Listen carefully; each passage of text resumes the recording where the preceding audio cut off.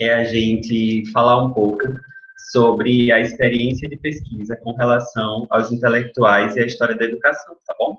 Então, nós fizemos uma pergunta inicial e nós gostaríamos de ouvir um pouco vocês. Então, assim, a gente faz essa provocação e gostaria que quem se sentir à vontade é, pudesse falar um pouco para a gente o porquê escolher história intelectual, por que você se interessa por história intelectual, por que você pesquisa história intelectual, o que lhe motiva na história intelectual, quais são as dúvidas que você tem, o que você gostaria de saber.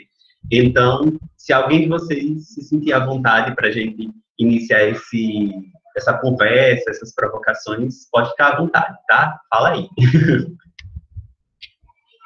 Quem está por aí? Ana Zélia. Ana Zélia quer falar?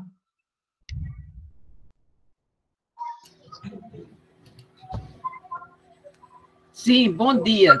Bom dia, bom dia. Tudo bem?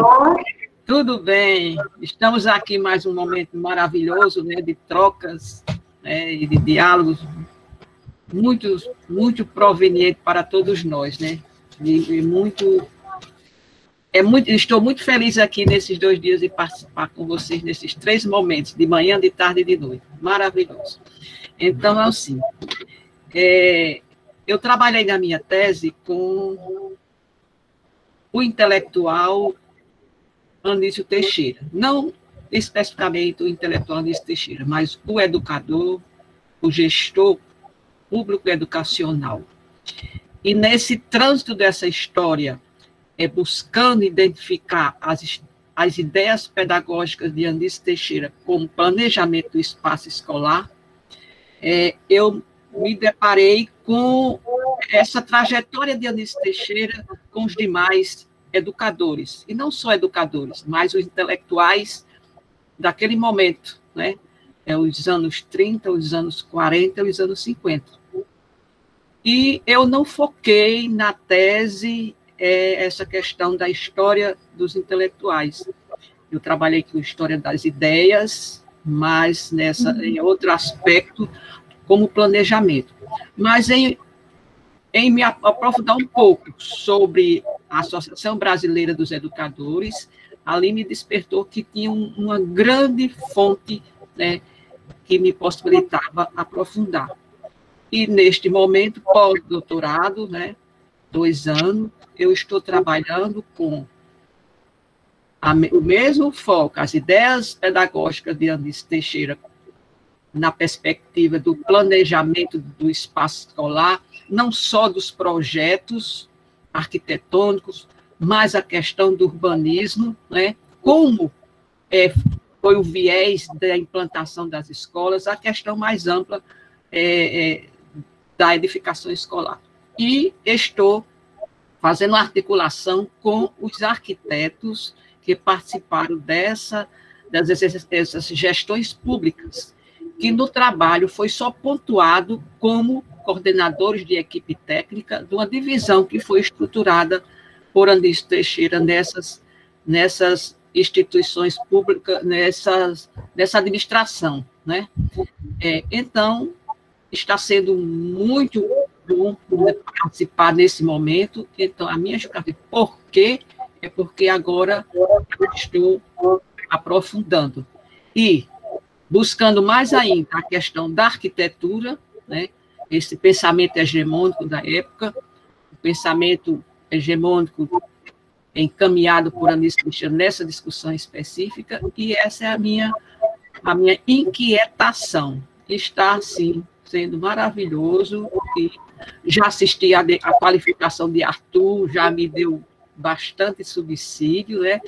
E foi com esse tópico, né, aspecto que eu entrei com um resumo. É isso aí. Sinteticamente, é neste aspecto, né? E maravilhoso.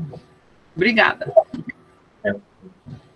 É, obrigado, Ana. É, acho que só a partir dessa fala de Ana já dá para a gente é, ter uma ideia assim do quanto que a história intelectual ela é rica e ela é ampla, né? Porque você vê a partir de, das inquietações acerca de um intelectual, que no caso é o Teixeira, ela consegue fazer relações com a arquitetura, com os modelos de educação, com tudo que era pensado para a educação naquele período. Enfim, é muito amplo, é muito vasto.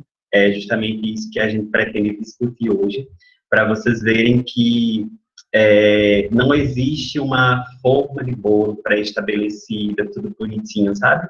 É, é um diálogo muito amplo e que se a gente está disposto a se abrir e a conhecer, explorar um pouco mais, ele é um campo infinito. É, Temos outro comentário aqui no chat, é da Moni Borges. É uma área que estou descobrindo e tenho percebido no que tenho lido quanto a força dos escritos desses sujeitos, atores, são decisivos nas estruturas de poder e podem tanto revolucionar quanto determinar as práticas sociais. Interessante, né, que vocês já fazem na fala de vocês, tanto na Ana Zélia quanto neste comentário no chat, uma relação com alguns aspectos que são muito importantes quando a gente fala da história dos intelectuais, né, que são as relações de poder, a relação dos intelectuais com as ideias, com as instituições e com as práticas. Então, é esse caminho mesmo que nós vamos seguir hoje e conversar um pouco com vocês sobre. Então, a, em relação à estrutura, o que nós pensamos para hoje foi iniciar falando sobre o campo da história da educação no Brasil, né, trazendo um pouco da concepção né, de dimensões abordagens de domínios a partir de Barros. A gente vai trabalhar um pouco com os conceitos as metodologias de trabalho, né, especialmente método iniciário e a prosopografia. Em seguida, nós vamos falar sobre as fontes para pesquisa sobre os intelectuais, os repósitos digitais, e no final nós trazemos as nossas referências. Então, nosso objetivo principal aqui, nós estruturamos a nossa conversa a partir desses três principais eixos, que seriam os conceitos, as metodologias e especialmente as fontes. Então, a partir da pesquisa, a partir dos nossos modos de fazer história dos intelectuais, nós queremos conversar com vocês sobre isso, certo? Então, é, partindo de um diálogo inicial sobre, sobre a constituição do campo da história da educação no Brasil, a gente vai ver que entre os séculos XIX e XX, essa questão da discussão sobre a história da educação, ela vai surgir muito mais no sentido de preservação de uma memória da educação no Brasil. É, a discussão acerca de uma constituição da história da educação enquanto disciplina mesmo, a gente só vai observar a partir das escolas normais, a partir do ensino para professores, na formação de professores. E isso vai aos poucos se consolidando até chegar na fase que a gente vive hoje, que se inicia na década de 1960, 1970, é, com a consolidação dos programas de pós-graduação. Isso é uma discussão muito interessante que a gente consegue observar, porque da, do, do ano de 1990 ao ano 2000, a gente vai ter uma estruturação, uma organização bem fundamentada desses programas de pós. E de 2000 para cá, a gente vai ter uma grande proliferação, um grande crescimento do número de, de programas de pós-graduação trabalhando com história da educação. E para a gente, assim, no nosso contexto atual, parece ser até, assim, contraditório, né?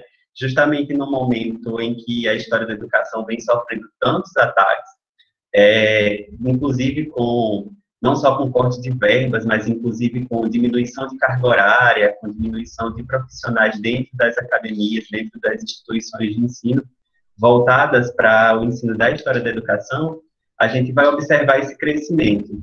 Então, assim, a partir daí a gente pode tirar vários apontamentos. Primeiro que, a partir dos, apesar dos ataques, a gente resiste e a gente está disposto a fazer pesquisa e a continuar expandindo os nossos horizontes. É, e também a urgência disso, porque não é à toa todos esses ataques, né? Não são à toa todos esses ataques. É, a gente é, precisa de memória, a gente precisa de identidade. E quando você tem uma identidade que traz essa questão do conhecimento é, com relação à, à, história da educação, ele vai trazer para você uma filosofia educacional, não é? Então você é, tira o papel daquela pessoa que é um mero sabedor, um mero conhecedor que vai para lá e fala qualquer coisa, não. Quando você trabalha com história da educação, você vai conhecer os fundamentos, aquilo que fundamenta a sua prática, você vai conhecer de fato uma filosofia educacional. E aí você começa a perceber é, o porquê de se fazer educação, né? Então, sem dúvida, é um momento extremamente importante e necessário para a história da educação. E, particularmente, me deixa muito feliz que, apesar de todo esse contexto difícil que a gente tem vivido agora, a gente consiga é, ter esse crescimento dos programas de pós-graduação com relação às linhas de pesquisa e ao interesse de pesquisa mesmo na área da história da educação.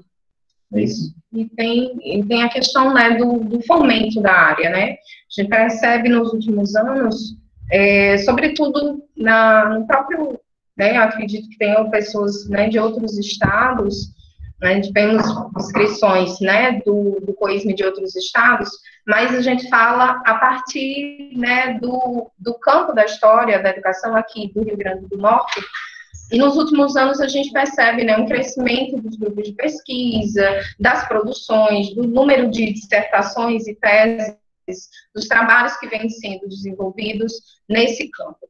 E aí, pensando, né, o Arthur apresentou aqui uma constituição do campo da educação, principalmente é, final do século XIX e durante todo o século XX até os dias atuais. E se a gente for pensar, por exemplo, se a gente for fazer a relação com a história intelectual, pensando né, na história e na historiografia da educação, a gente poderia, por exemplo, é, nos remetermos à preservação da memória da educação brasileira, que era vinculada, sobretudo, né, no final do século XIX, início do século XX, ao Instituto Histórico e Geográfico, se a gente for ver, pensar sobre isso, né, é notório pensar também em quem escrevia, né, quem escrevia sobre essa educação brasileira, quem estava ali envolvido. Então, a gente percebe, a gente encontra né, obras fundamentais sobre a geografia da educação, é, a de Pires de Almeida, Primitivo Moacir, e também do mesmo da mesma forma, né, a pensar na disciplina de História da Educação, né, os primeiros manuais que foram criados, quem escrevia esses manuais, né, e aí é, a gente faz essa relação para que vocês percebam, né, que existe sim essa relação entre aquilo que está sendo construído no campo com a história dos intelectuais. Então, essa relação, né, é, ela é muito importante, né, a partir das nossas pesquisas, mas também possibilita outras pesquisas que vocês queiram desenvolver, certo? Então, dando continuidade. É, a gente vai falar um pouco agora sobre a questão das dimensões, abordagens e domínios para a história da educação. Quando a gente fala de dimensão, então a gente está falando das dimensões que podem ser alcançadas a partir desse tipo de história que nós produzimos, a partir da história da educação. Então, como é, eu já tinha falado quando estava comentando do trabalho da Ana Zélia, é tão amplo que a gente consegue trabalhar com as dimensões da história política, com as dimensões da história cultural, com as dimensões da história econômica, com as dimensões da história social. Por quê, gente? Porque quando a gente estuda um intelectual, quando a gente estuda um sujeito, a gente não vai estudar ele é, de maneira isolada, de maneira separada, como se ele fosse constituído de forma, de forma naturalizada, né? Isso de forma natural. É, a gente vai perceber todas as relações, todas as construções sociais, simbólicas, representativas, com relação é, imagem, ao discurso, às relações de poder, às interrelações pessoais, tudo que vai estar intrínseco à construção desse sujeito enquanto intelectual e a sua atuação no corpo social. Então, isso envolve diversas áreas. Então, você pode trabalhar com todas essas dimensões, da política, da cultura, da sociedade, da economia, e fazer as, as, a costura do seu trabalho em termos teóricos, né, a partir dessas dimensões, articulando também outras abordagens, né, Laís? Isso. E, e, é interessante, é muito interessante essa divisão que o Barros faz para que a gente compreenda o campo da história, né, de um modo geral, e inclusive ele, ele, ele apresenta como a Clio despedaçada, né, existem várias é, especializações dentro da história. Então ele propõe essa divisão entre dimensões, abordagens e domínios, para que a gente possa pensar melhor as nossas pesquisas, né? Pensar de que forma eu posso situar a minha pesquisa. Eu vou dar um exemplo para vocês. É, antes do exemplo, deixa eu explicar, né? As dimensões seriam um enfoque maior, né, de, da pesquisa, Aí a gente pode situar a pesquisa dentro da história política, dentro da história cultural. As abordagens estão relacionadas ao método utilizado, e aí a gente cita né, a história oral, a microhistória, e os domínios. E a história intelectual, a história dos intelectuais, ela está situada como um dos temas que são possíveis de abordar dentro do campo da história, dentro do campo da história da educação. Então, um exemplo que eu ia citar era sobre a minha pesquisa da dissertação, que foi a partir do intelectual Nestor dos Santos Lima.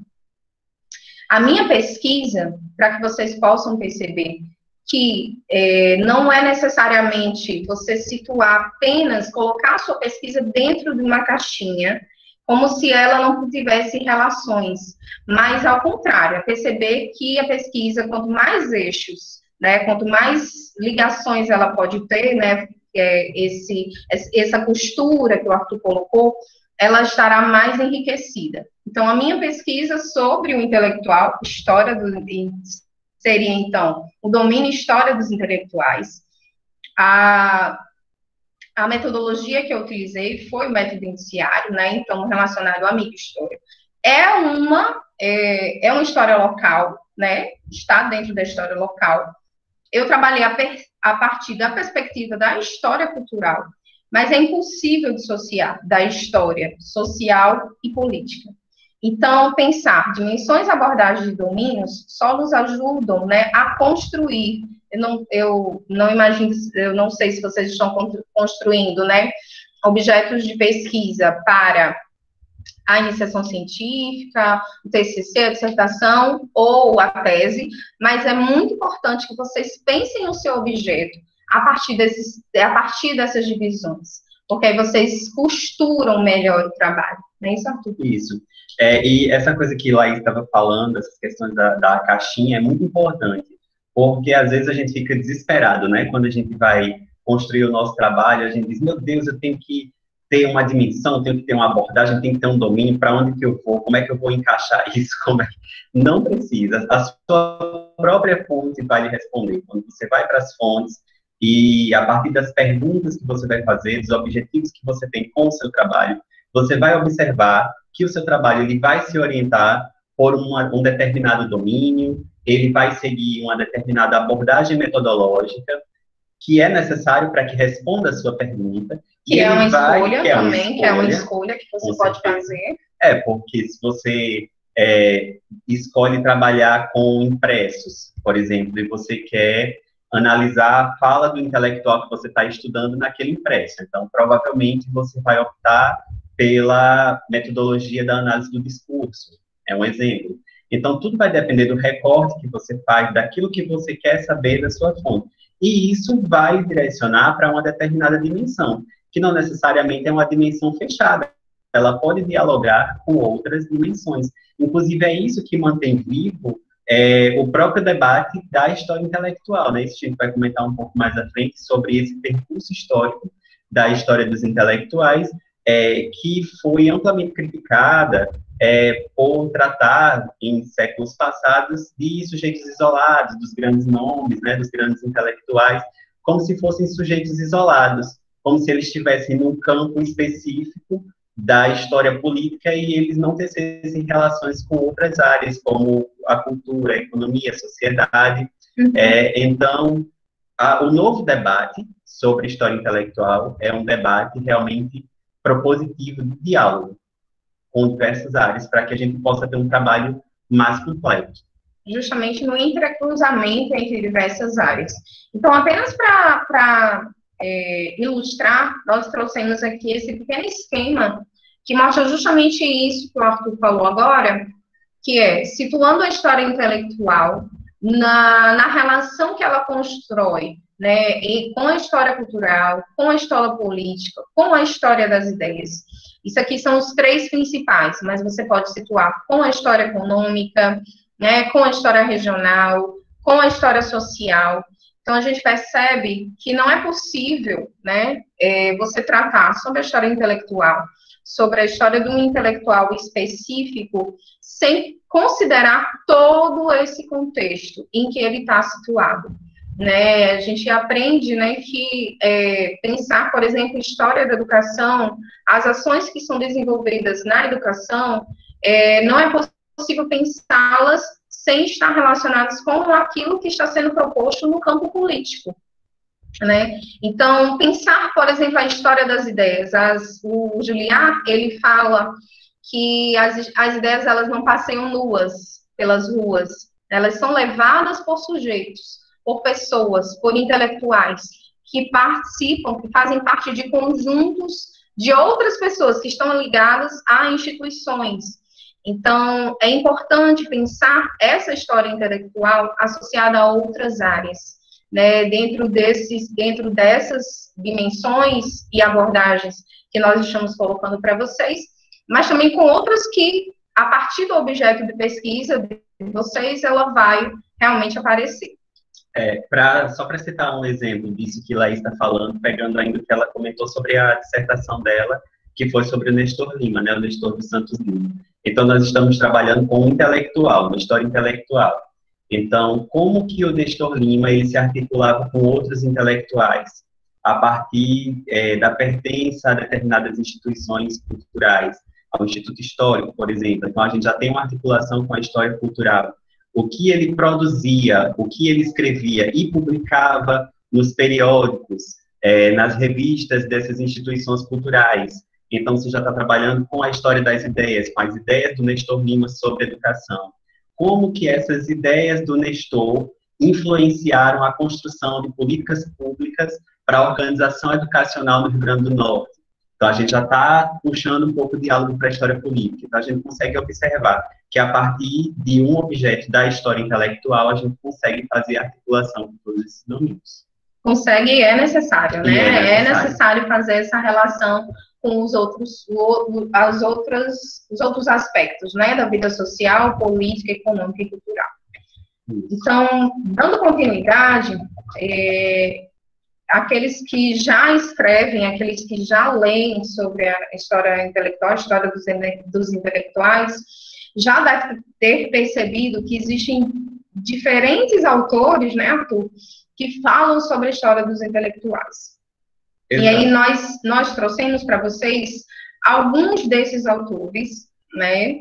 Existem, e é muito interessante vocês perceberem, terem conhecimento, né, desse, dos conceitos que podem ser trabalhados e verificar aquilo que mais se aproxima do seu objeto, das suas escolhas teóricas, das suas escolhas metodológicas, certo?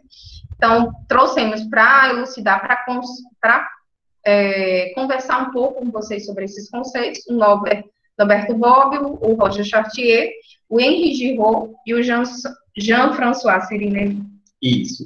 É, nós vamos falar um pouco sobre as ideias dos três primeiros, tá bom? Que são conceitos possíveis de se trabalhar com intelectuais, caso vocês tenham interesse na pesquisa, e depois a gente vai detalhar um pouco mais sobre o Sirineli, que é o que está presente na, em grande parte das pesquisas e nas pesquisas que nós realizamos, tanto eu Isso. como Laís. Então, o Norberto, o Norberto Bob, desculpa, é, ele compreende os intelectuais é, na interface com o poder, tá certo? Na, na relação com o poder. Esse poder, ele pode ser o poder político ou o poder ideológico. Então, a gente consegue observar que é indissociável, é uma relação é, direta entre intelectual e o poder. E ele compreende dois tipos de intelectual. O intelectual ideólogo, que é aquela figura do intelectual que escreve, que pensa, que racionaliza sobre a sociedade, sobre as questões sociais, é, de uma maneira mais geral, de uma maneira mais ampla, que conhece um pouco sobre cada coisa e é, o intelectual expert, que é aquele intelectual que vai estar mais voltado para a prática, tá bom? É, para a prática de algo específico, que é um modelo de intelectual que a gente tem observado que tem se consolidado cada vez mais na nossa sociedade. Por exemplo, nós, eu e Laís, nós estudamos muitos intelectuais da Primeira República, entre 1889 e 1930. E a gente consegue perceber que esses intelectuais desse período, eles são intelectuais multifacetados, porque eles têm uma formação geralmente em direito ou em medicina, alguns na área da docência, e eles atuam em diversas áreas, eles ocupam cargos políticos, eles atuam em cargos administrativos, eles vão trabalhar na educação, na saúde, vão escrever sobre diversos temas que são interessantes para a sociedade, desde a economia, a saúde pública ou a própria educação, mas eles são intelectuais no sentido mais amplo, é, diferente do que a gente entende hoje como intelectual. Então, a gente consegue perceber que é, esse conceito intelectual ele também não é estático. Ele possui uma relação com o tempo, ele é histórico, exatamente. De acordo com o tempo, ele vai mudando. Hoje em dia, se um, um determinado sujeito fala que sabe um pouco de tudo, você diz, não sabe de nada. Quem sabe de tudo não sabe de nada. Hoje em dia, a gente valoriza muito mais essa figura do intelectual expert, que é expert em alguma coisa. Você é um historiador da educação. Então, se você vai falar sobre a educação, você vai procurar aquela pessoa, porque ele vai entender, porque ele tem uma formação específica naquilo. Até porque é, é, também o conhecimento ele se democratizou mais, nós temos um maior acesso a diversos tipos de conhecimento, uma ampla gama de conhecimentos. Então, de fato, a gente dizer que consegue dar conta de tudo é muito difícil, né? É verdade, e é, é muito interessante essa, essa, essa colocação do Arthur, de, e é muito importante compreender que realmente né, essa concepção do intelectual, ela é uma concepção histórica. Então, ela vai se alterando, né? Acredito que muitos devem ter é, assistido ontem, né, a conferência da professora Diana Vidal, e é justamente isso, a compreensão que nós precisamos ter enquanto pesquisadores, historiadores da educação, de que nós construímos as nossas pesquisas a partir do presente, né? A gente olha para o passado, mas a nossa pesquisa é construída a partir do presente. Então, se você for ver historicamente o conceito de intelectual, Arthur já colocou bem que a partir de, da década de 80, essas, esses, conceitos eles retornaram para o campo da história, né? Mas esse conceito ele não é novo, né? O, o Roger Chartier ele vai trazer, né, e no seu texto Homem de Letras, a concepção do homem letrado, né, que ele vem presente, né, desde o início do século, ele continua presente no início do século XIX, e, e ainda hoje é possível escutar pessoas dizendo que fulano é letrado. É letrado. Mas esse conceito, ele hoje a gente não utiliza mais, né, do homem letrado, mas a gente pode perceber no, no texto do Chartier que ele vai fazer o quê? Nesse texto, é, que é muito interessante. Inclusive, nós colocamos no material que a gente vai disponibilizar para vocês, certo? Nós criamos um link no Drive e eu já coloquei no, no chat o link. Esse material está lá, vocês podem acessar ele a qualquer momento, podem baixar alguns textos que nós selecionamos, certo? Então, o, o Chartier ele vai falar sobre essa concepção do homem de letras a partir do século XVII, século XVIII, finalizando ali no iluminismo. Então, eu vou ler para vocês. Né? Ele, ele, trabalha muito a partir daquilo que era considerado pelo Voltaire. E o Voltaire já falava, né, a partir do século, é, tendo como base o século XVII. Os verdadeiros letrados encontram-se na situação de deslocar os seus passos pelos diversos campos, apesar de não os poderem cultivar todos. Então, é, é ele se contrapõe a essa perspectiva do expert, que foi o que o Arthur acabou de colocar, né, de que ele, o, o, o sujeito, para que ele fosse reconhecido pela sociedade, a gente percebe isso ainda no início do século XIX, ele precisava circular por diversos campos, ele precisava se apropriar de diversos conhecimentos. Então, a gente percebe homens isso é uma forte influência do iluminismo. Né? Quando a gente vai pensar no século XIX, a gente vai pensar ali, final do século XIX, início do século XX, o que, é que a gente percebe? É a construção de instituições, pensando no Brasil, certo? É a, a organização de instituições que se organizavam, né, se estruturavam, é, a partir daquilo que era conhecido como as academias é, francesas, né, que tem uma forte influência do iluminismo. Então, eram sujeitos que tinham realmente diversas formações em, em filosofia, em direito, e que é, em medicina, muitos, né, a gente está falando aí do século XVIII, né, e, e tinham várias, vários conhecimentos sobre diferentes áreas. E essa perspectiva, ela ainda perdura ali até o início do século XX, em que a gente vai ver, por exemplo, é, nas revistas do Instituto Histórico e Geográfico, os homens que eram aceitos para participar dessa instituição eram os homens notoriamente, aqueles que eram notoriamente homens letrados, certo? Então, circulavam por diversas, por diversos espaços, tinham conhecimento em diferentes campos, e falavam sobre esses diferentes campos. Estava muito certo? próximo àquele diálogo do enciclopedismo, né? O conhecimento enciclopédico, de você saber um pouco sobre cada coisa. E também a participação nessas instituições científicas, sociedades culturais, também estava muito ligado à, à própria moral, né? Homens de conduta ilibada. Então, não bastava Isso. você ter o conhecimento, você também precisava aplicar esse conhecimento na sua vida em forma de polidez, de educação e ter uma conduta moral irrepreensível. Isso, verdade. E aí, o, uma outra perspectiva que a gente traz para você, para vocês é do Giraud, por exemplo, eu posso trabalhar com o conceito de intelectual de um professor, se eu quiser trabalhar, é, apenas um exemplo, né, a partir do, da história do tempo presente. O Giraud, ele, ele trabalha, ele vai construir o seu livro, né, que é esse título mesmo, Professores como intele Intelectuais Transformadores. Ele vai trabalhar a partir da perspectiva da pedagogia crítica. Então, ele constrói a sua concepção é, em oposição a uma ideia muito tecnicista do professor, apenas como um técnico, aquele que apenas executa e que não poderia pensar sobre essa educação. Então, ele apresenta o intelectual, o professor, enquanto intelectual, com uma postura e com uma necessidade, com uma função social. Aquele que pensa sobre a sua prática, e, sobretudo, influenciando os seus alunos, ajudando a construir né, é, novos sujeitos para uma nova sociedade.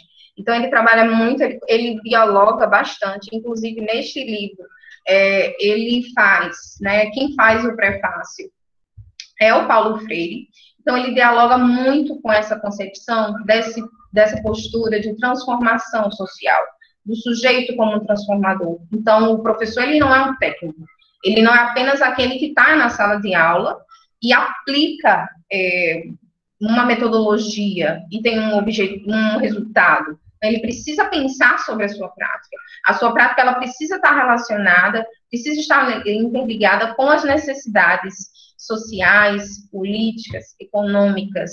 Então, não, é, não, é, não existe uma desassociação entre aquilo que seria, né, que ainda, ainda é discutido, né, sobre um trabalho manual, um trabalho técnico, né, um trabalho e um trabalho intelectual. Então ele vai propor dentro daquilo que ele defende para a pedagogia, né, para a educação, como o professor como um intelectual realmente transformador. Certo? Isso. E outro conceito de intelectual é trabalhado pelo Jean-François Sirinelli, é, que ele compreende esse sujeito como um criador e mediador cultural.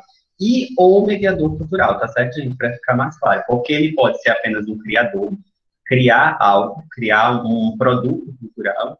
Ele pode ser um mediador dessa cultura, que a gente consegue observar isso muito com os nossos intelectuais, os nossos objetos de pesquisa, que eles são sujeitos que vivem aqui no Rio Grande do Norte e que muitas vezes eles têm acesso ao conhecimento que vem de fora, sobretudo da Europa, tanto através de leituras como através até mesmo de viagens. Vão até lá, têm o conhecimento de novas tendências pedagógicas, de novos modelos de educação, trazem para cá e fazem essa mediação cultural aplicando a nossa realidade. Ou pode ser as duas coisas, aquele que cria e aquele que media, tá bom? O Sirinelli, ele vai pensar dois modelos de intelectual. O intelectual num sentido mais amplo, e aí a gente vai estar tá falando de jornalistas, escritores, professores, ou intelectual no sentido mais detido. E quando a gente fala de intelectual nesse sentido detido, a gente está falando de intelectuais que possuem um determinado engajamento é, político, uma determinada atuação política, tá certo? É, e isso também é muito claro com relação aos sujeitos que nós estudamos, os intelectuais que nós trabalhamos, porque, no geral, é, 80%, eu diria até 90% deles, é, fazem parte de redes de sociabilidade que levam a cargos políticos, a cargos administrativos, sobretudo através das indicações, né? Então, como nós trabalhamos especificamente com o Cirineli, é, nós é, vamos apresentar para vocês o percurso que o Cirineli realiza, tá bom? Ele compreende esses intelectuais a partir de um tripé. Um tripé é esse. É, Só tá um pouco, ele vai começando. Tá cheio de Não, vai chegar. Aquela pasta. Mas vai morrer, vai comer, vai morrer. Oi, desculpa, a gente não está conseguindo ouvir que está tá cortando um pouco. Tem, acho que tem alguém falando, eu não sei se é alguma dúvida, um comentário. Tem alguém que gostaria de falar? Não? Ah, tá. Pronto, é era algum tá áudio com, aberto. Era tá algum certo. áudio aberto. Tudo bem, sem problema. então, vamos lá. Para a gente entender como é que o Sirineli, de, de, de forma mais instrumental, né, a gente consegue trabalhar, reconhecer o intelectual a partir do conceito de Sirinelli. Ele Como ele nos ajuda, né, a, a, a, compreender essa história do intelectual a partir desse tripé. Esse né? tripé. Andréia, sem problema, não pedir desculpa, sem problema, tudo bem. É, nós partimos da geração, trajetória e das sociabilidades. Então, o que é a geração? A geração, ela é a herança cultural desse intelectual é de onde ele vem, de onde vem o seu conhecimento. E com relação a essa geração, esse intelectual, ele tanto pode ter uma postura de referendar essa herança cultural que ele recebeu, como também de se opor a ela, tá bom? Mas de algum lugar ele saiu. Não é porque não tem como ele ter essa postura de intelectual, não tem como ele ter tudo isso sem ter uma formação. Aqui a gente colocou na imagem é a Faculdade de Direito do Recife como um exemplo.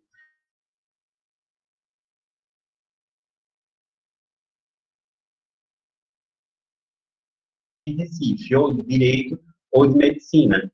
Então, se a gente para para observar o contexto norte-grandense da Primeira República, onde as taxas de analfabetismo beiravam 89%, então a gente já sabe que as pessoas que eram alfabetizadas eram muito pequenas. Aquelas que conseguiam chegar a um ensino superior, ainda mais fora do Estado, eram, era um grupo ainda muito mais restrito. Então, nós estamos falando de um grupo muito específico, de homens brancos, que eram filhos de uma determinada elite econômica e política, e que, portanto, se articulavam também politicamente, faziam parte, tá certo, da administração norte-rio-grandense. Então, a gente vai ter uma geração, tá certo, que tem essa herança cultural, que partilha essa identidade de formação em comum.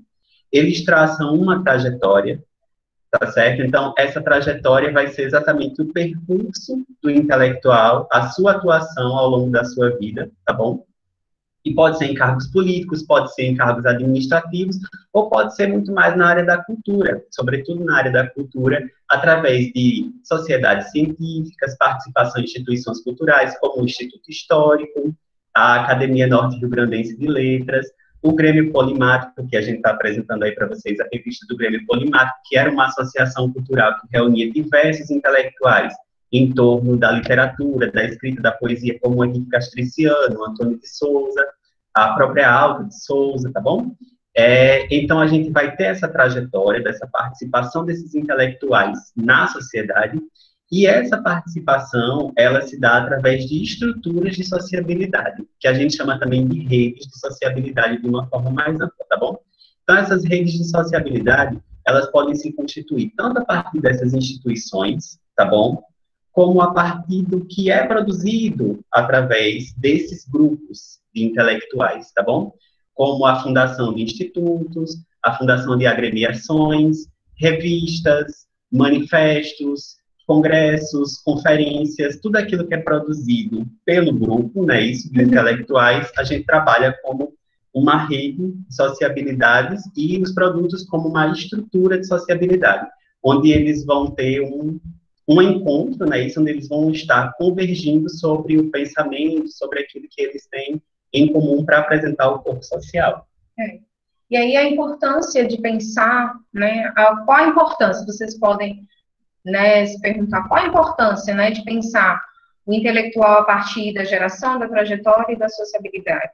Porque muitas vezes nós nos perguntamos, né, é, recentemente eu comecei a pesquisar sobre o Oscar Vanderlei. E vem o questionamento, mas quem é esse sujeito? Né? Por que, que ele escrevia aqui? Né? Da onde ele veio? Qual foi a formação? Ele, como, ele, como, ele, como é que esses sujeitos eles constroem? Eles vão trilhando esses caminhos que fazem com que eles tenham essa autoridade para falar sobre educação, para é, dirigir uma instituição. Então, a gente pode pensar, por exemplo, poderia dar aqui um outro, é, um outro exemplo, né, a partir do que o Arthur falou. É, desculpem, mas a gente vai relacionar a pesquisa Potiguar, certo? Então, se for pensar o Manuel Dantas, a relação que existe entre Manuel Dantas, é, o José Augusto e o Nestor Lima, certo? Então, você vai conseguir identificar que existiam, por exemplo, é, laços é, genealógicos, né, de relação familiar entre o Manuel Dantas e o José Augusto, e, e o, o, Juvenal Lamartine. Então, eles, eles fazem parte ali de uma mesma família. E quando a gente vai pensar na, na Primeira República, né, final do século XIX, início do século XX, essas relações familiares e políticas, elas são muito fortes. E fazem, é, não podemos falar que são deterministas, né, mas influenciam os lugares que esses sujeitos eles vão ocupar na sociedade potiguar.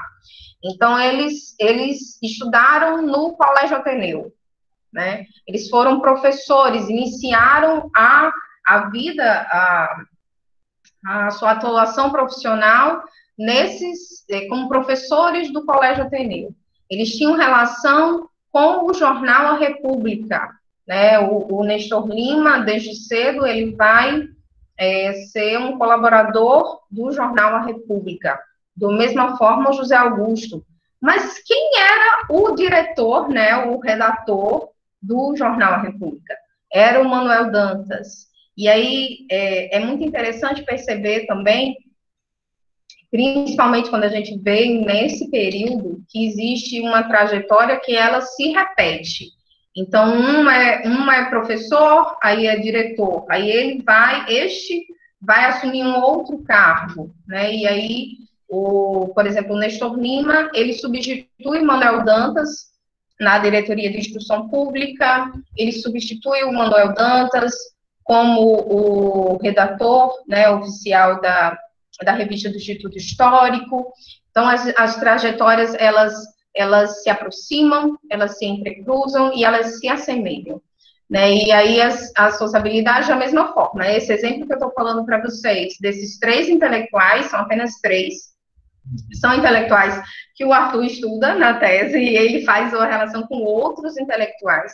Então, vocês percebem que pensar né, essa geração, trajetória e sociabilidades, nos ajudam a compreender de que modo esses sujeitos eles ocupavam esses espaços, por que eles ocupavam esses espaços, né?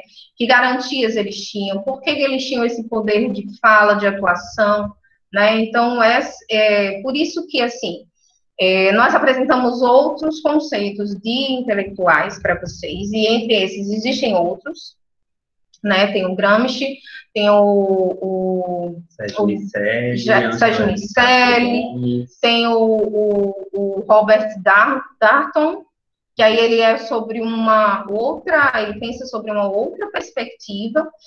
Então, assim, por que que essa, essa concepção de Serinelli, né, essa construção, inclusive, eu trouxe para mostrar para vocês, né, o, o por uma história política, que nesse livro, do René Remond, tem um, um, um texto né, fundamental do Sirinelli, também está no, no, no, Drive, certo, para vocês? É, então, ele, para os nossos objetos, né, e para várias pesquisas sobre a história intelectual, ele vem sendo, ele vem sendo utilizado justamente porque ele fornece esses elementos para que nós possamos pensar a história dos, dos intelectuais. E é muito importante, pessoal, a gente pensar esses elementos para que a gente consiga compreender essas trajetórias de uma maneira muito, não vou dizer fiel, que é muita, seria muita soberba a gente achar que consegue captar fielmente, né? Mas de uma maneira mais, é, mais aproximada do real, né? Porque a gente precisa quebrar que isso era a grande crítica que se fazia também é, logo no início do, do século XX, a história dos intelectuais de uma forma descontextualizada, para a gente quebrar com essa história dos mitos ou dos grandes gênios. Ah, é, é, é, é, porque é um gênio, fez tudo isso porque é era um gênio, porque era algo que estava fora da realidade. Não, eles estão imersos em um contexto. E todo o contexto que está ao redor deles, as redes de sociabilidade que eles constituem, os lugares que eles ocupam, permitem a eles que eles realizem determinados feitos, que eles escrevam sobre determinadas coisas e que isso tenha um eco social muito grande. Então, a gente precisa quebrar com essa ideia de genialidade para poder ter uma perspectiva crítica mais forte e mais analítica sobre os sujeitos que a gente está estudando.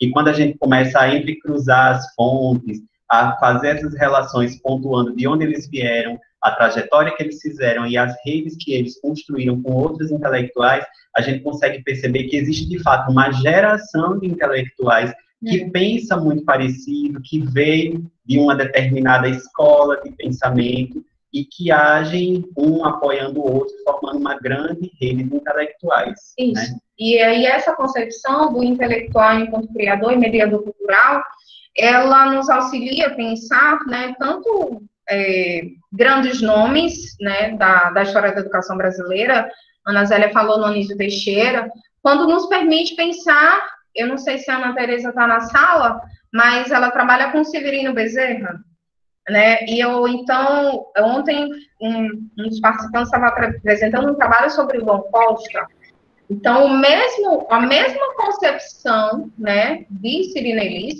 acerca dos intelectuais nos permite pensar diferentes sujeitos, né, a partir dessa ideia de que o intelectual ele age na sociedade, ele se insere, ele se insere no campo, ele ajuda a construir esse campo e de certa forma as suas ideias elas reverberam no, no, no conjunto social, né, na sociedade em que ele está atuando.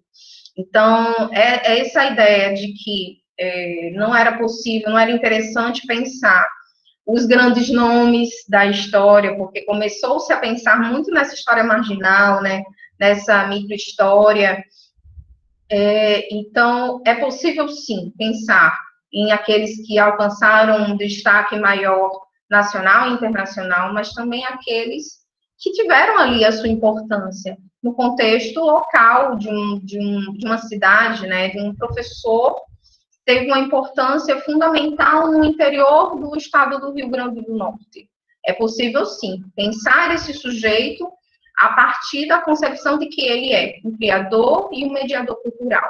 Ele é engajado, ele é um sujeito multifacetado, então, é, é, essa concepção ela nos auxilia a pensar né, na história desses intelectuais. Exato. A Ana já falou ali que está presente, estou aqui anotando tudo. Fique à vontade, tá, não, no final, se você quiser falar um pouco mais das suas experiências, Ana Zélia também conosco, obrigado. Agora a gente vai falar um pouco, pessoal, das questões metodológicas, tá? De como Sim, que a só, gente... Só, só um instante, a Joana Garcia falou do, do Carlos Vieira, verdade. Sim. Né? O, o Vieira ele tem textos muito interessantes também sobre a, é, ele vai tratar sobre inteligência, né?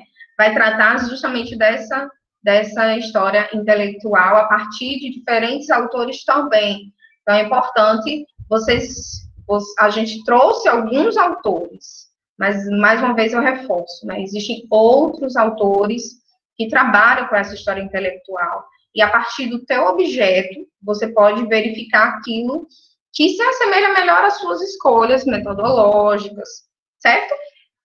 E aí, a segunda parte do nosso, da nossa apresentação, na verdade, nós vamos apresentar isso, né? Vamos falar um pouco sobre a metodologia, mas nós vamos falar melhor quando nós formos apresentar as fontes. Então, a metodologia de trabalho, nós trouxemos duas metodologias para apresentar para vocês hoje. Seria o método indiciário, né, do Carlos Ginsburg, né, aqueles que estudam história, né, uhum. com certeza já leram, né, o Queijo e os Vermes. O Queijo e os Vermes. É, e, não, para falar, né, o Arthur, ele é história, ele é, a formação inicial dele é em história, a minha é em pedagogia. Mas somos historiadores da educação. Exato. então, o, o Ginsburg, ele traz, né, essa perspectiva, que para mim é muito interessante, sobre o método indiciário. Inclusive, nós estamos tendo outro mini curso nesse mesmo instante sobre o método indiciário apresentado pela professora Lenina, pela professora Nara. Então, não é nosso objetivo aqui esmiuçar o método, mas sim apresentá-lo para vocês. Então, o Ginsburg, ele vai comparar o trabalho do historiador ao trabalho do médico, ao trabalho do detetive, ele vai falar sobre o Sherlock Holmes, né? Então, qual seria a perspectiva do, do historiador? Ele vai em busca de vestígios, de sinais, que vão fazer com que seja possível construir né, o seu trabalho, preencher as lacunas que existem, que estão no seu trabalho, né? E aí eu trouxe, inclusive, uma citação para vocês, né? Se a realidade é opaca, existem zonas privilegiadas, sinais, indícios que permitem decifrá-la.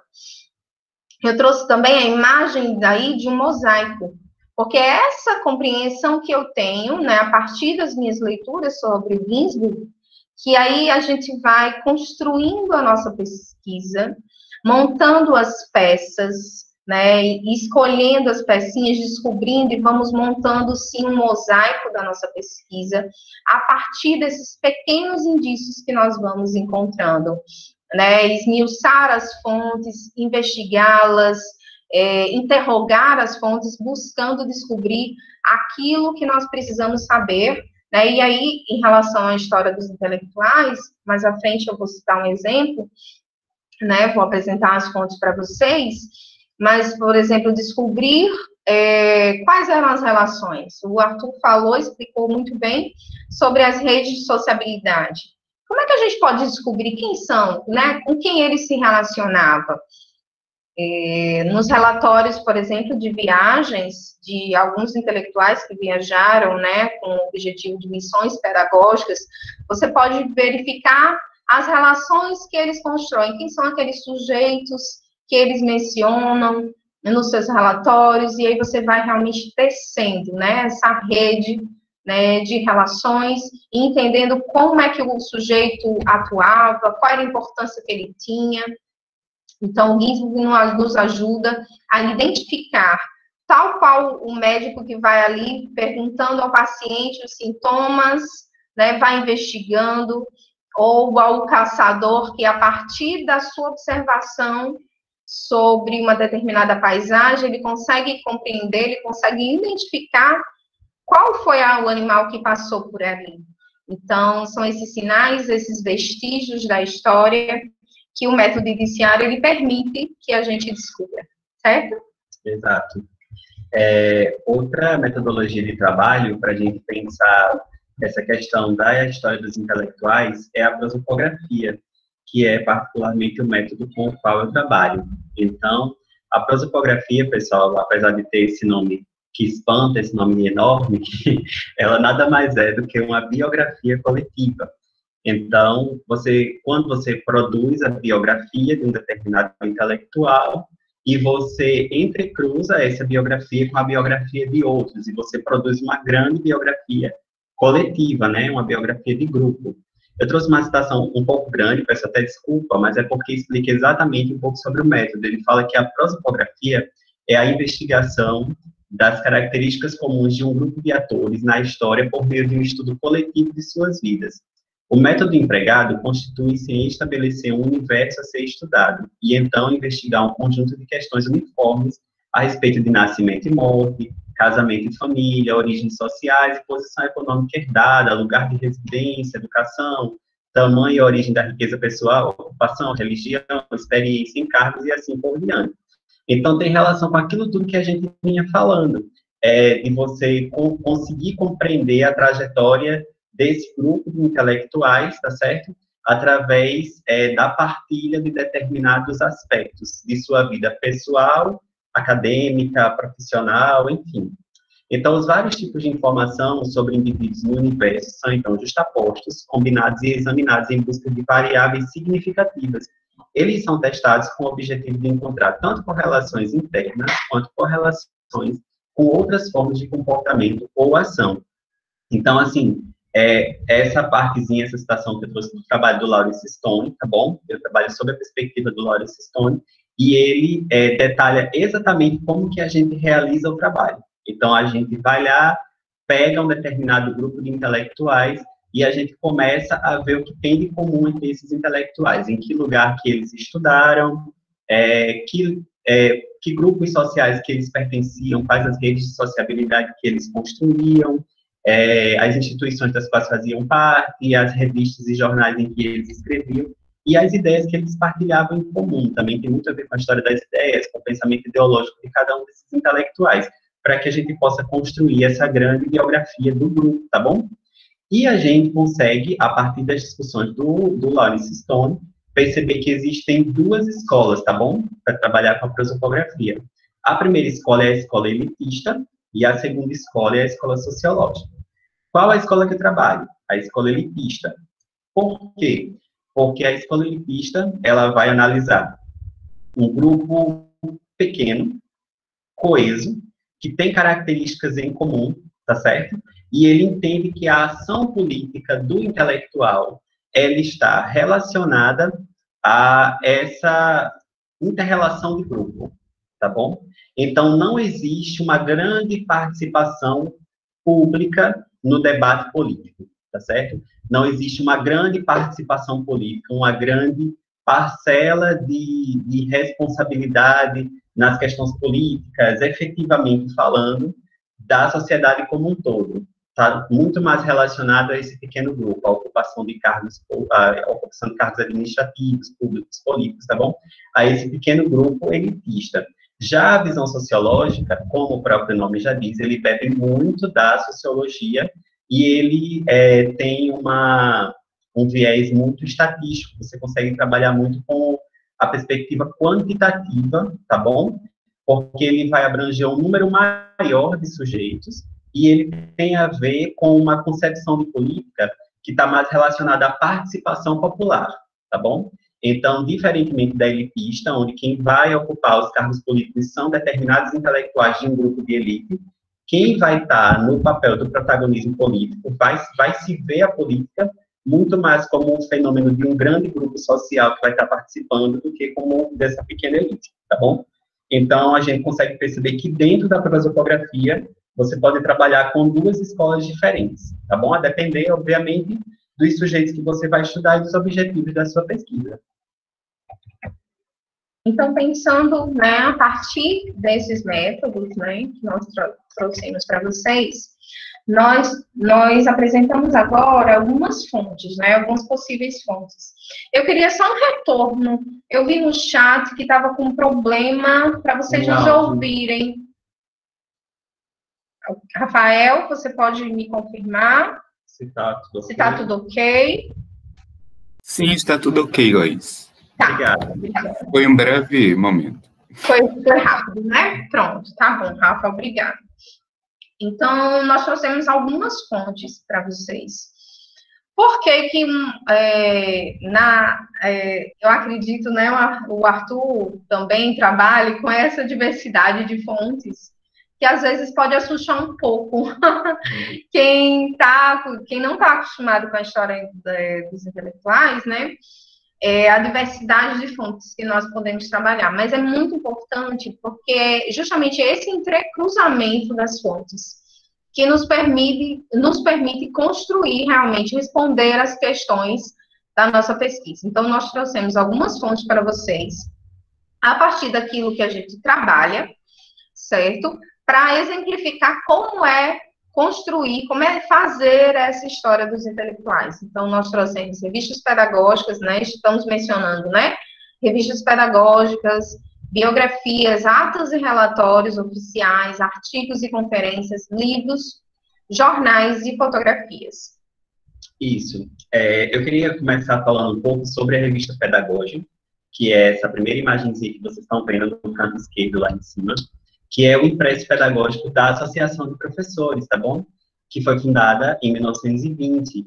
É, a revista Pedagógica, ela divulgava amplamente o novo pensamento pedagógico, né, daquele período, é, muito pautado na questão da modernidade educacional, no diálogo com a escola nova.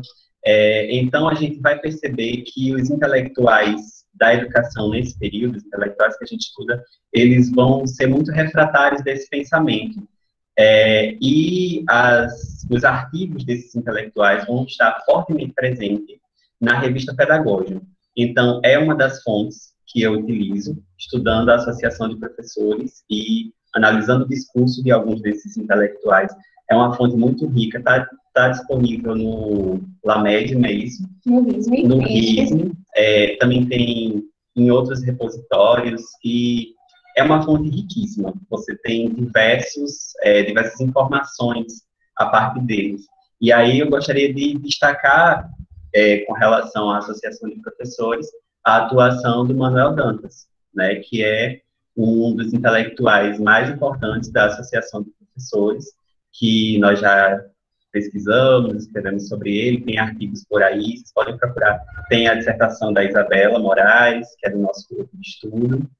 É, com relação às biografias, eu chamo a atenção para essa fotinha que está do lado, nosso amigo Castriciano, que é uma biografia do Henrique Castriciano, é, que foi escrita pelo Câmara Cascudo, ou seja, um intelectual escrevendo sobre outro intelectual.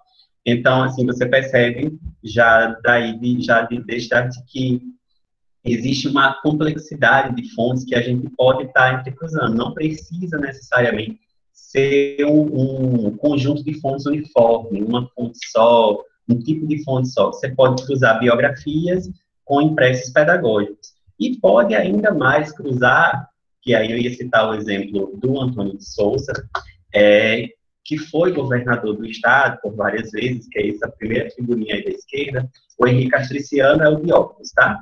E o, o com a gravatinha aqui, o terceiro. E o primeiro, que também tá Dióculos, é o Antônio de Souza, que foi governador por diversas vezes aqui no Rio Grande do Norte. E uma das fontes que eu utilizo para compreender um pouco mais da atuação do Antônio de Souza são as mensagens de governo, aquelas mensagens de governo que ele divulgava todo final de governo, que os presidentes de Estado, posteriormente governadores do Estado, divulgavam sempre ao final, prestando contas da sua gestão. E estão disponíveis é, no site de Chicago, depois a gente pode até colocar lá, é, num repositório que tem de Chicago, que tem todas essas mensagens. Estão disponíveis também na hemeroteca digital. Também na hemeroteca. E aí você consegue ter acesso a diversas informações sobre construção de escolas, construção de grupos escolares, sobre toda a situação do Rio Grande do Norte a cada governo que ia passando, tá bom? E isso você pode cruzar com as obras que o Antônio de Souza é, escreveu, você pode cruzar a biografia do, do Luiz, da Câmara Cascudo, sobre o Henrique Castriciano, com a conferência Educação da, da Mulher no Brasil, que o Henrique Castriciano proferiu e que orientou toda a organização da Liga de Ensino e, posteriormente, da Fundação da Escola Doméstica, pensando a educação feminina no Rio Grande do Norte. Então, são várias fontes que você vai cruzando e vai percebendo a relação entre esses intelectuais. O Antônio de Souza era muito próximo, por exemplo, do Henrique Castriciano, não é? Inclusive, é, defendendo a ideia da educação feminina. Então, a gente consegue perceber essas relações. A própria escola doméstica foi construída também durante, né, o seu governo. Então, esses, esses documentos que o Arthur está falando, né, está apresentando, eles são importantes tanto para conhecer a história, né, a trajetória desses, desses intelectuais, mas, sobretudo, para compreender de que forma eles atuavam, né, que, quais eram as ideias deles, né, e de que forma essas ideias elas se materializaram na, na organização do ensino, né, sobretudo o ensino primário, né, nesse período da Primeira República. É, os outros intelectuais que estão aparecendo nessa, nessa imagem para vocês, o segundo é o Nestor dos Santos Lima, e o último é o Anfilóquio Câmara, né, que são esses nomes, né, são, assim, são muito importantes para a gente compreender, sobretudo, essa organização do ensino. É, historicamente, nós percebemos que a partir existiam sim diversas ações, existiram, né, diversas ações ao longo do Império em relação à educação, pensando principalmente, né, a educação do Rio Grande do Norte, mas é sobretudo a partir da, da República, né, a partir desse novo regime, que se começam realmente a, a, as ações de organização, tanto da formação de professores, quanto dessa organização mais sistemática do ensino, com a criação de escolas, com a criação de legislações específicas que vão orientar toda a educação do Estado, certo? É, então, só para é, fechar um pouco com relação a esses sujeitos que nós estamos falando, que são os sujeitos que nós estudamos, essa imagem que está embaixo mostra o, um grupo que fez parte da fundação é, do Instituto Histórico e Geográfico do Rio Grande do Norte. Aí em cima nós temos imagens da Revista do Rio Grande do Norte, que era o impresso do Grêmio Polimático, que era aquela instituição cultural e literária que eu falei para vocês.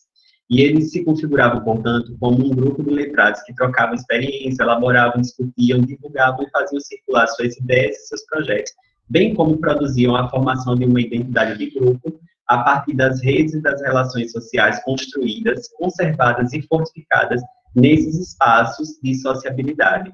Então, a gente trouxe essa citação para vocês verem a amarração. A gente quis é, falar um pouco sobre as metodologias, sobre a parte teórica e sobre as fontes, para que vocês percebessem, a partir do trabalho que nós realizamos nas nossas, nas, nas nossas pesquisas, é, como que a gente consegue relacionar tudo isso e fazer algo que fica coeso e apresentar o produto de tudo isso, que é essa compreensão de uma grande rede de sujeitos que estão ali se interrelacionando, né? E tem as fontes também que a gente vai comentar um pouco com vocês. Pronto. Aí pensando para exemplificar para vocês como é que a gente pode trabalhar com essas fontes. De que forma essas fontes nos ajudam? Eu trouxe para vocês três, três tipologias de fontes, certo? E a primeira dela é nas imagens, nas fotografias. E como é que a gente pode é, entender essas relações? Aí eu trouxe duas imagens que estão presentes na minha dissertação, que trazem o Nestor Santos Lima. A primeira imagem, ela é, apresenta uma solenidade que foi na cidade de Caicó, que foi a fundação da Escola Santa Terezinha, no, na cidade de Caicó, e que no círculo vermelho nós temos, eu acredito que dê para ver na imagem, o círculo vermelho está ali, o Nestor Santos Lima, ao lado direito dele, com o chapéu, está o José Augusto, que era né, o presidente do Estado, governador do Estado à época. E nesse, nesse círculo azul, nós temos o, pre o presidente Washington Luiz.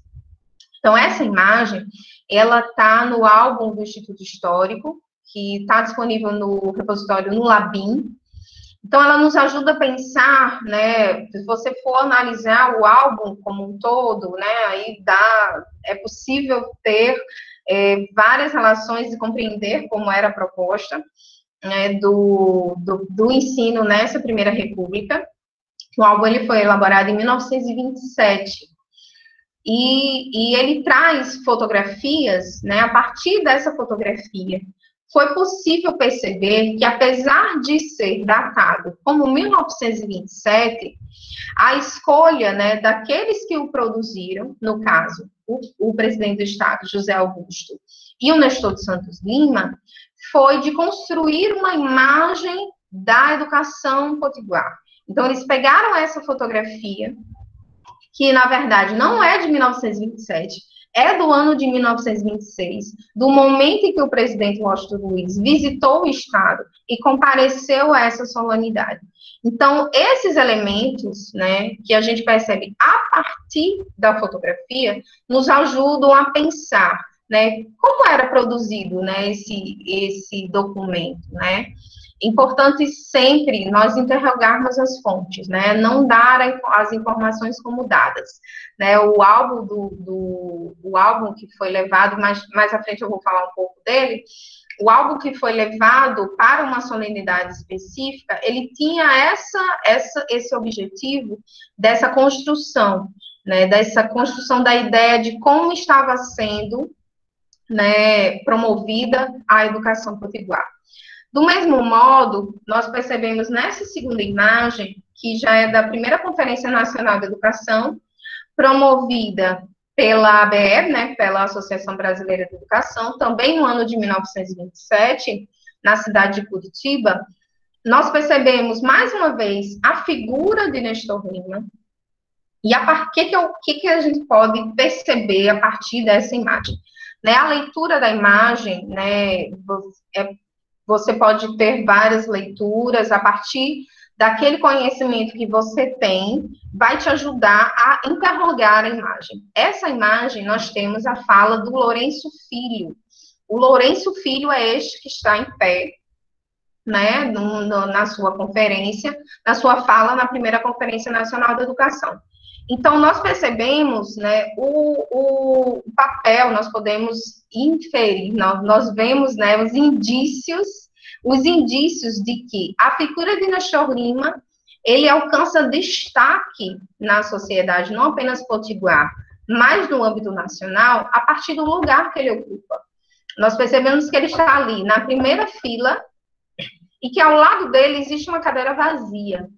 Né? Então, essa, essa imagem dessa cadeira vazia, nós percebemos que é, nós podemos né, é, falar que quem estava sentado, né? Quem está em pé é o Lourenço Filho falando. Então, quem estava sentado ao lado dele era o quem estava sentado ao lado do Nestor Lima, né? É possível que fosse realmente o Lourenço Filho.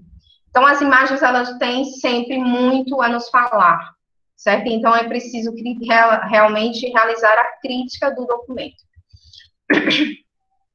A segunda tipologia da fonte que nós trouxemos, né, foram os livros, que o Arthur, inclusive, já mencionou, que esse aqui é o, um, um recorte, né, do livro do Anfilóquio Câmara, e que aí ele fala, né, os meus distintos amigos, Heitor Carrilho, Dioclésio Duarte, Aurélio Silva, de César Leizan. Então, no livro que ele escreve, né, Cenários Norte-Rio-Grandenses, ele faz essa distinção aos amigos.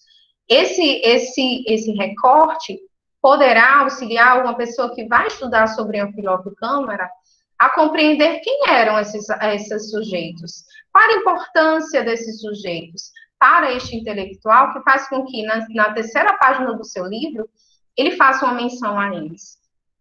Então, são apenas algumas informações que nós podemos, né, é, descobrir, são vestígios, são sinais daquilo que estão presentes nos documentos. E, para finalizar, as fontes, nós trouxemos também jornais. É, como eu disse para vocês, é, eu, tava, eu estava fazendo uma pesquisa recente sobre Oscar Vanderlei, e é muito difícil encontrar documentos, né, é, escritos sobre o intelectual. Então, eu recorri aos jornais, né, e aí a gente vai apresentar depois a hemeroteca, perdão, a hemeroteca digital brasileira, que tem todo um acervo maravilhoso de jornais. Então, nesse primeiro recorte, vocês percebem que é da República do dia 4 de maio de 1907, foi possível descobrir a data de nascimento do Oscar Vanderlei, que era um dado que eu não tinha. Então, tem aí, né? Completam anos amanhã, Oscar Vanderlei, filhinho do nosso prezado amigo e colaborador, Ezequiel Vanderlei. Né, num pequeno trecho, nós descobrimos que o Oscar Vanderlei ele nasceu no dia 5 de maio e que ele já tinha uma relação, né, existia aí uma relação com o jornal A República a partir do pai dele, que era o Ezequiel Vanderlei, certo? Do mesmo modo, é, nesse, nesse recorte do Diário da Tarde, de 21 de novembro de 1927, nós encontramos uma notícia sobre a visita do Nestor Lima a, na primeira Conferência Nacional de Ensino. Então, existe, né? Seguirá para Curitiba no dia 29 do corrente o doutor Nestor Lima levando diversas teses e um álbum fotográfico. O Nestor Lima, que é diretor do Departamento de Educação, representará também a Associação de Professores no Congresso de Ensino a se reunir ali no dia 19 do próximo mês. Então, aqui nós já percebemos, né, mais uma vez, que a construção do álbum de 1927, né, existia sim uma intenção política de mostrar né, de apresentar como estava sendo né, construída a organização do ensino potiguar. Então, é outra fonte, nós citamos algumas fontes aqui para vocês que são maravilhosas sobre a história da educação potiguar, sobretudo nesse período, que é o que nós investigamos da Primeira República, mas do mesmo modo, é possível trabalhar com essas fontes em diferentes períodos históricos, né? Os jornais, as fotografias, né, a história oral, é possível trabalhar com diferentes fontes no intuito de compreender não apenas a trajetória desses, desses intelectuais, mas as suas intenções, as suas relações políticas, as suas relações sociais, a quais instituições ele estava relacionado. Então, é uma gama de informações que nós podemos é, obter a partir das fontes. E por isso que eu disse, não se assustem com a quantidade de fontes que podem ser trabalhadas quando a gente está falando da história dos intelectuais. Certo? É, é bastante coisa. E para finalizar, pessoal, nós gostaríamos de chamar a atenção de vocês para os repositórios digitais. Por quê, gente? Porque nós temos é, os, os, é, as instituições de salvaguarda de memória, como nós já conhecemos, como o Instituto Histórico, os mais diversos arquivos, né? Isso, arquivos públicos. Físicos, arquivos públicos, fisicamente falando. Mas, hoje em dia, é, e eu acho que isso é algo que facilita demais o nosso trabalho, nós estamos trabalhando muito com a questão da digitalização dos documentos. E esses documentos ficam disponíveis para a gente nos repositórios digitais, tá bom? Então, assim, imagine agora, nesse período de quarentena, como seria difícil a gente realizar pesquisa se a gente não tivesse esses documentos digitalizados, né?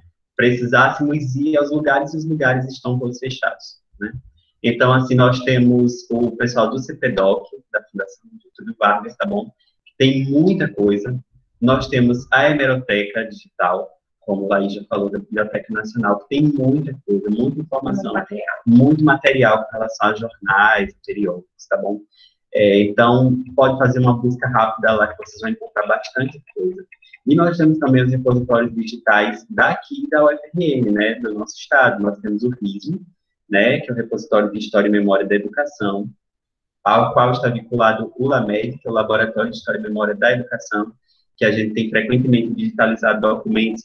Geralmente nós fazemos parte desse grupo da História da Educação aqui da UFRN. À medida que nós vamos pesquisando, se a gente encontra algo que não está digitalizado ainda, geralmente a gente já se predispõe a digitalizar e já encaminha para o LAMED, o LAMED já manda para o RIS, já fica lá, tá bom? Nós também temos o LABIM, que é o Laboratório de Imagens da Universidade Federal do Rio Grande do Norte, que também tem muita coisa. Então, assim, vocês fiquem à vontade para fuçar nesses repositórios, para pesquisar, para encontrar um mundo de possibilidades de trabalho com relação à história dos intelectuais. E tem diversos outros, né? Nós só citamos aqui. Tem Nós outras universidades é. também, não é isso? E, por fim, pessoal, as nossas referências, tá bom? E gostaria de agradecer a vocês a participação e dizer que agora nós estamos totalmente abertos para ouvi-los. Se vocês tiverem alguma pergunta, alguma dúvida, se querem falar, querem trazer alguma contribuição, qualquer coisa, minha gente, vamos lá, estamos aqui para isso. Fiquem à vontade para participar, para falar, para trazer as experiências de vocês, tá certo? É, basicamente é isso. Nós tentamos construir a nossa fala é, de forma que nós possibilitássemos né, esse diálogo.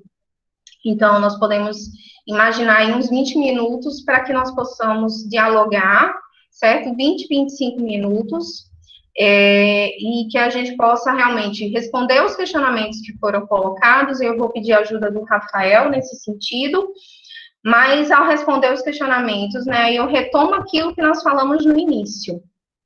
Nosso objetivo é falar um pouco com vocês, mas principalmente que a gente possa possibilitar esse diálogo. Tá certo? Isso. É, como a gente estava apresentando, a gente precisou ficar com os slides abertos para poder apresentar para vocês. Então, infelizmente, a gente não tinha como ter acesso diretamente ao que estava acontecendo lá no chat. A gente só viu algumas coisas.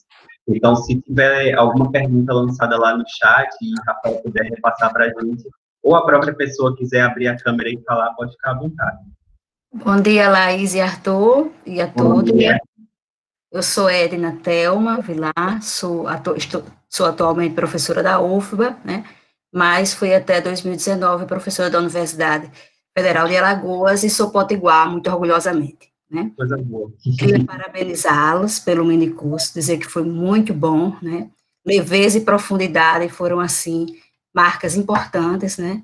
E vocês trouxeram essa mobilização do fazer historiográfico, né, articulando fontes, metodologias, foi muito bom, né, queria parabenizá-los por isso, e só, né, chamar a atenção como que a história, né, do, dos intelectuais, como o trabalho com esse, com esse campo, né, nos possibilita, Arthur falava, né, de, de poder articular, por meio da prosopografia, né, sujeitos de um determinado grupo, eu acho interessante porque a gente consegue, por exemplo, articular é, autoria, autorias femininas, né? Professores, professoras primárias que produziram em uma determinada época, né? Como que elas. Uhum. Então, a gente tem feito esse trabalho e tem, inclusive, é, é, é, encontrado achados, né? Que justificam muitos nomes de escolas, professoras de uma dada época, uhum.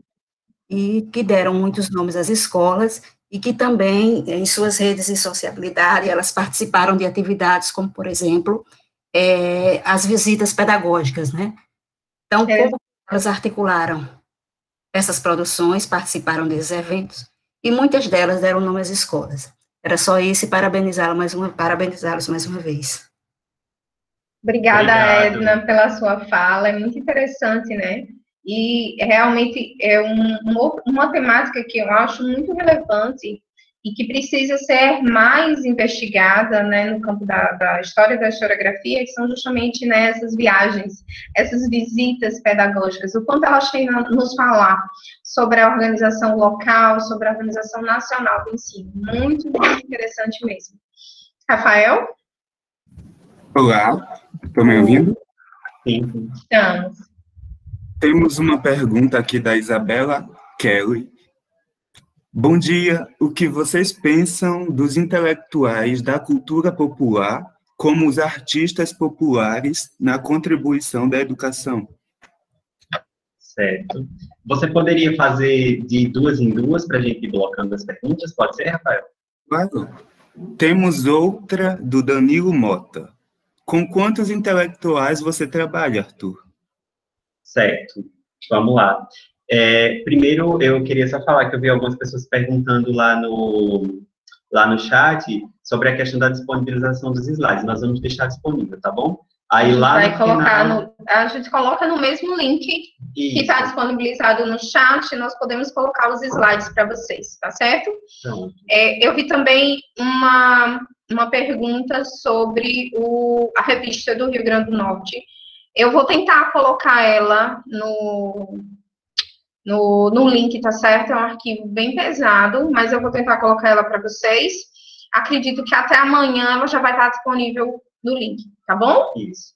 Então, a gente vai deixar disponível os slides. No final dos slides tem as referências. E, se possível, a gente deixa também os links dos repositórios para vocês já terem acesso. Queria mandar um abraço para Clifton, que está aqui, que ele é aluno da História, né, do EAD. Um abraço, Clifton. Obrigado por você estar aqui. Eu acredito que deve ter mais gente também do, do EAD da História. Um abraço para todo mundo. É, respondendo é, a pessoa que me perguntou sobre quantos intelectuais eu estudo. Danilo. Danilo. É Danilo. Danilo. Então, Danilo, é, eu iniciei estudando vários intelectuais, muitos intelectuais. Por quê? Inicialmente, a minha intenção era a partir das instituições culturais. Então, é, eu isolei o recorte da Primeira República de 1889 a 1930 e analisei as instituições que tinham sido fundadas nesse período com relação a instituições culturais no Rio Grande do Norte. Então, eu pontuei o Instituto Histórico, a Associação de Professores e a Liga de Ensino, porque eram três instituições que, direta ou indiretamente, falavam sobre educação. E aí eu comecei a mapear os sujeitos. E era muita gente, muita, muita gente. E fui fechando recorte, fui fechando recorte, cheguei ao número de 30, e a gente está vendo realmente a impossibilidade de trabalhar com essa enorme quantidade de fontes de informações, porque é muita gente e a gente não tem o tempo do mundo todo, infelizmente. Então, atualmente, nós estamos trabalhando com 12 intelectuais, pensando em uma geração de intelectuais, tá certo? Que foram fundadores do Instituto Histórico e Geográfico, e a partir dessa articulação em torno de instituições culturais, eles foram é, saindo para outras instituições, como a Associação de Professores e a própria Liga, e trabalhando com a educação norte-rio-grandense, tá certo? Em geral, todos eles formados na Faculdade de Direito ou de Medicina do Recife, tá bom? A outra pergunta foi da Isabela sobre é, como pensar, né, a relação dos artistas populares com a educação. É, eu a André, também. André? Não, ela. Acho que ela ligou o áudio sem querer, tudo bem. Pela. Então, pensar esses, pensar esses artistas populares na sua relação com a educação. Eu penso inicialmente, Isabela, que você teria que ver qual o seu, a partir de qual concepção intelectuais você gostaria de trabalhar? Porque você precisa, por exemplo, se a gente fosse trabalhar com o Sirinelli, certo? Essa, essa atuação do, do intelectual, de que forma ela vai reverberar na sociedade, né? Que relações que eles constroem com a educação, né? Então, acho que o, o passo inicial é você. Não dá para fechar. É, eu acredito que o passo inicial é você pensar, pensar qual a concepção. Eu, pessoalmente, acredito que a que mais se aproxima seria realmente a do Sirinelli. Mas é preciso é, investigar né, esse artista, qual a relação que ele constrói, de que forma o pensamento dele ele se materializa de alguma forma, de que forma ele vai construir relações com a educação, certo? Isso. É, Rafael, tem mais? Temos mais uma pergunta do Andrew Vinícius Cristaldo. Podem me indicar algum ou alguns intelectuais que falem sobre o ensino secundário no governo Vargas? Ensino secundário no governo Vargas. Bom, é, eu, eu particularmente não pesquiso esse período, eu pesquiso só até 1930, quando chega a 30 já não pesquiso mais. Mas eu tenho lido é, algumas coisas com relação à educação profissional no período de Vargas, tá bom? Então, eu tenho visto muito a atuação do Roberto Mange com relação à constituição do IDOR, tá bom? Junto a outros intelectuais, como Simonsen, é, e também com o próprio pessoal do, do, dos pioneiros, né, que a gente chama dos pioneiros da Escola Nova, que também tinha uma certa relação para construir esse ideal pedagógico de uma, de uma educação profissional, mas que não ficasse só no tecnicismo, né?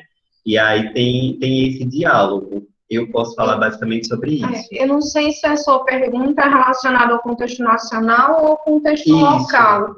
Então, assim, é, pessoalmente, eu, no contexto local, eu não consigo te, te apontar nenhum intelectual, mas a gente pode deixar os nossos e-mails é, para vocês, e aí vocês podem mandar e-mail para a gente, e, a, se, e à medida que a gente encontre algo, a gente pode falar. Mas realmente, se você for pensar na perspectiva nacional, é, tem os grandes nomes da educação nacional, né, e que pensavam não apenas a educação primária, mas também o ensino secundário, como o próprio Nancy Teixeira, que a gente já mencionou. Exato. Certo?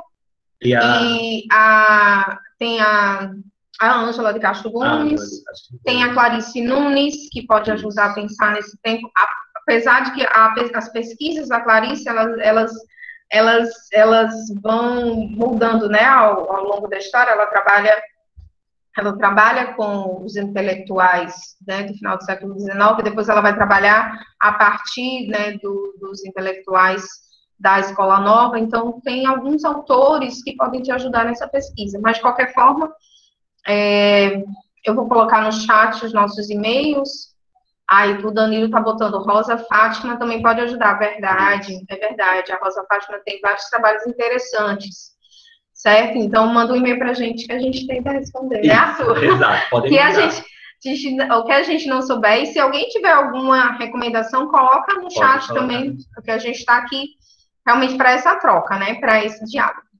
É, a, a Marlene está falando que ela poderia, a Isabela poderia investigar ou selecionar os artistas populares que se aproximam e ou convergem em determinadas expressões ou linhas de pensamento. Verdade, Verdade Marlene. Bem interessante. E a Laísa Fernanda perguntou assim: vocês teriam algum trabalho sobre educação seridoense no período da Primeira República? Tipo, o que esses intelectuais discutiam sobre o sertão do Seridó? Laísa, olha, o trabalho da Olívia. Olívia. e é. é justamente isso, sertão seridó, né? Isso. O trabalho da professora Olívia. É, e se vocês quiserem, eu vou anotar, eu já vou A colocar no link, no link, tá bom? Vou isso. colocar o, o trabalho da professora Olívia também no link sobre. E aí, além do trabalho da professora Olívia, né, tem outros trabalhos, por exemplo, da Isabela, que trata sobre o Manuel Dantas, aí vão falar sobre esses sujeitos, que de alguma forma vão te ajudar a pensar né, sobre a relação que eles construíram com esse espaço social, né, e que também vão é, te dão algumas pistas, né, sobre como eles atuavam, das relações que eles construíram. Tá Isso. certo? Exatamente. Tem mais? A Isabela já colocou aí o, o repositório, a, a tese Link da tese Olívia. Obrigada, Obrigado, Isa. Rafael, temos, temos mais duas perguntas. Tá. Uma da Gabriela Silva, que é quais autores e obras essenciais para quem está iniciando na história intelectual?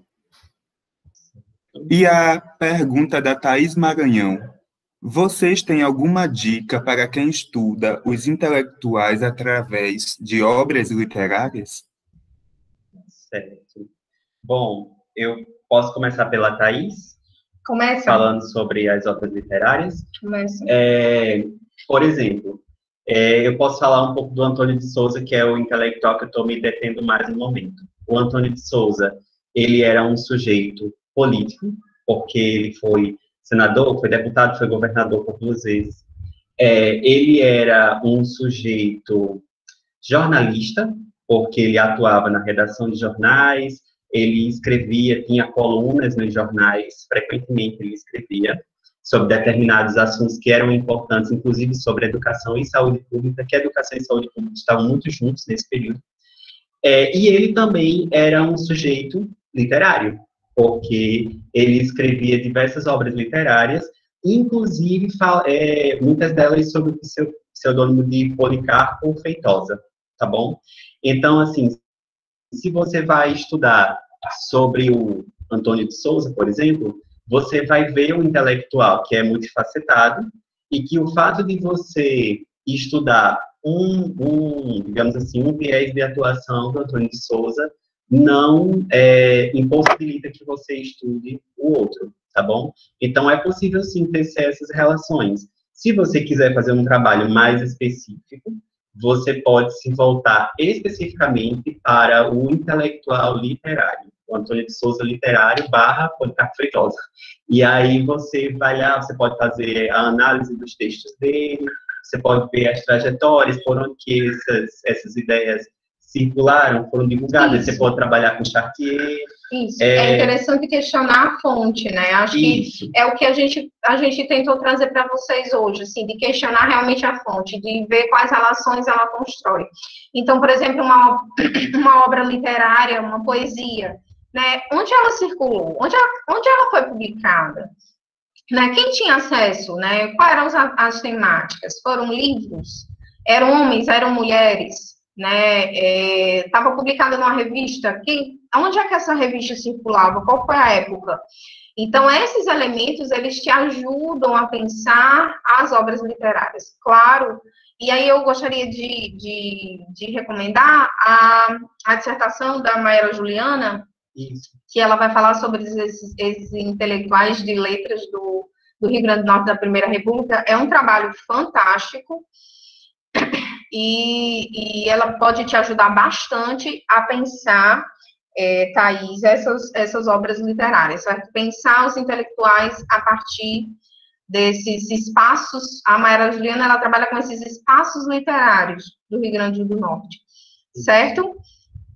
E aí, re, respondendo a pergunta da Gabriela, principais autores para começar é, sobre a história dos intelectuais. Eu vou citar dois que não vão tratar especificamente sobre a história dos intelectuais, mas que te ajudam a pensá-los, certo? O primeiro seria o Michel de Certeau. O Michel de Certeau, ele nos ajuda a pensar sobre a história, sobre a historiografia da educação, e a, trazendo, né, a partir da tríade, né, o, o, lugar de fala, a prática e a escrita, vai te ajudar a pensar, né, a olhar para o teu objeto e tecer outras relações, certo? E também o Chartier. O Chartier, a partir das concepções dele, né, sobre prática, representação, apropriação e circulação, são fundamentais. Isso. E se fosse citar um terceiro, e aí eu vou para os intelectuais, seria o, o, o, o Cirinelli, que tem dois, dois artigos que são maravilhosos. Um está neste livro, Por uma História Política, certo? Que é com o, o, o René Remon. E também tem outro livro que ele vai trabalhar sobre elite cultural. Que é bem interessante. Que é muito bom.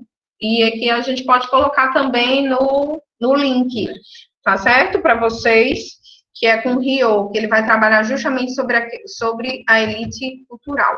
Exato. Tá certo? É, o, o Sertor é legal porque o Sertor, ele, ele traz uma perspectiva bem aberta, né? Ele vai falar sobre a escrita da história, pensando em como esse historiador escreve, mas a partir do tripé, né? Lugar de fala, prática e escrita. E aí você pode transferir isso para qualquer intelectual de qualquer área que você for estudar, porque qualquer pessoa, inclusive nós, quando nós estamos produzindo, quando nós estamos escrevendo, nós sempre vamos partir de um lugar de fala, né, isso de uma determinada posição, é, de uma prática de pesquisa, que é o nosso próprio fazer de pesquisa, e a escrita. Então, assim, você tendo esses elementos, você pega a parte do intelectual que acertou, Aí você pega a parte do Chartier para você fazer a análise da obra, de, da obra e da circulação da obra desses intelectuais. Então você já tem aí um, um bom diálogo. E aí fechar com o Cirinelli perfeito. É, tem mais verdade. alguém? Vamos lá. Tem mais alguma pergunta? Temos mais uma pergunta da Laísa Dias. Tá. Vocês poderiam citar outras referências sobre prosopografia? Tá. Eu prefiro trabalhar especificamente com o Lawrence Stone, tá? Porque ele porque ele é bem objetivo. ele trabalha de uma forma bem didática, ele já aponta os dois caminhos pelos quais você pode seguir, se você vai pela corrente sociológica, se você vai pela corrente elitista, tá bom? Então, eu posso deixar também lá no, no link, né, o texto Sim. da prosopografia do Lawrence Stone, que está digitalizado, já está disponível. É um texto muito simples, que eu acredito que todo mundo consegue ter acesso compreender como realizar a metodologia. Então, eu realmente prefiro trabalhar com o Lawrence Stone, tá bom? É, tem o Flávio Reins, né, que é o próprio Danilo falou aqui, tem outros, tem outros autores, mas eu realmente prefiro trabalhar com o Lawrence Stone, tá? Eu acho mais, mais prático de, de se manusear, digamos. Assim. Isso, e tem também algumas pessoas que, que gostam de trabalhar a partir do Pierre Bourdieu, embora também. ele não tenha, hum, ele não trabalhe diretamente, né, Arthur, com o conceito a partir daquilo que o Pierre Bourdieu traz, né, sobre de a questão de campos e hábitos, né, de capital capital intelectual, capital cultural, é, também nos ajuda muito a compreender. Né? Outro, outro autor que eu acho fantástico, para quem quer estudar sobre a história intelectual é o Pierre Bourdieu, certo? Porque ele nos ajuda a pensar. Porque esses sujeitos, eles estavam inseridos em um campo, né? Esses sujeitos, os intelectuais, eles ascendem ou eles às vezes desaparecem, né, pelas relações que eles constroem dentro do campo. Então é muito interessante você trabalhar a partir da perspectiva do sertor interligado com a perspectiva do Pierre Bourdieu. Exato. Certo? É, a Isa está falando aqui que Yuri tem uma pergunta, né? Parece que ele está com problemas de acesso. E ela falou, Yuri quer saber como desenvolver pesquisa na história da educação com intelectuais relativamente recentes. Bem, nós trabalhamos com intelectuais mais antigos, então, geralmente, qual é o problema maior que a gente tem? Encontrar as fontes. O Oscar Vanderlei foi um exemplo é um disso, né? problema, né? Oscar a Vanderlei. pode conseguir encontrar alguma coisa do Oscar Vanderlei né? E já os intelectuais mais recentes, a gente tem o efeito contrário. A gente está na era da informação, né? Então a gente tem muita informação, inclusive informação digital. Então eu acho que o maior desafio para quem pesquisa intelectuais mais recentes, em primeiro lugar, é saber filtrar bem as fontes que você vai trabalhar, porque senão você pega fonte demais e aí fica perdido nas informações, não sabe para onde vai. Então, você precisa saber filtrar as fontes, você precisa ter uma boa pergunta que direcione bem para atender os objetivos do seu trabalho. Eu acho que esse é o primeiro ponto. Segundo, é, não ter medo de tecer as relações, Isso. tá bom? Porque é, é, muito complicado você entender o intelectual como ele sozinho, como o único intelectual, né? é você perceber as relações que esse intelectual tem na nossa sociedade hoje, tá bom? Já que está falando de intelectuais recentes, do eco do trabalho desse intelectual e das relações que ele cria, tá bom?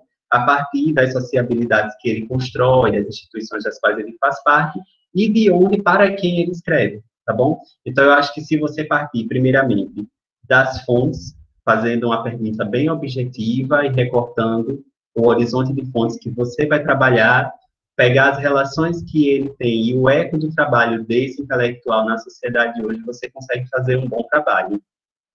Isso. E aí, pensando nessa história mais do tempo presente, é possível, por exemplo, trabalhar com outras metodologias, como a história de vida, é, a história oral. Então, assim, é realmente uma escolha metodológica que precisa ser feita certo? E aí eu reforço tudo que o Arthur já colocou sobre como trabalhar com exercícios intelectuais e a importância de realmente fazer a crítica das fontes. Porque como a gente está nesse universo, né, e muitas vezes, não, não somente agora, né, mas os documentos, eles são produzidos, é preciso perguntar por que, que esses documentos são produzidos, né, para quê, qual a, qual é a intencionalidade, certo?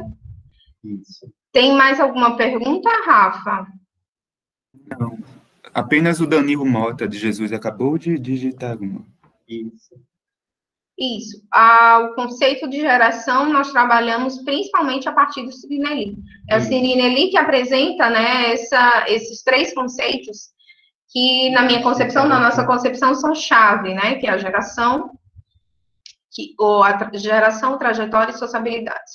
Essa geração, ela, ela vai te falar muito né, sobre uma, uma origem é, institucional, uma escola que se tem estudado, relações familiares, grupos sociais, então tudo isso interfere. E também ajuda a pensar é, de que modo, é, e aí eu vou trazer o exemplo para a minha pesquisa sobre o Nestor Lima, que é muito interessante ver a relação que ele constrói, que o intelectual constrói, Nestor Lima e Manuel Dantas. Manuel Dantas, ele é de uma outra, é, a gente pode dizer que, embora eles sejam contemporâneos, é, o Manuel Dantas, ele começa a trilhar o caminho antes do Nestor Lima. Então, nós, nós percebemos uma, e apenas para falar que esses conceitos, geração, trajetória e sociabilidades, eles estão relacionados, certo?